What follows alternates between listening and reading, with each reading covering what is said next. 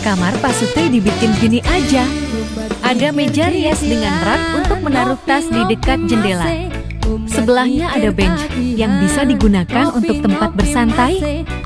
Kemudian ada backdrop wall panel dan menggunakan divan ukuran kasus 180 x 200 yang nyaman untuk berdua. Sampingnya ada meja nakas minimalis.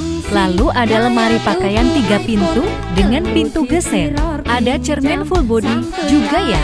Yang terakhir ada backdrop TV mode yang cakep banget kayak gini.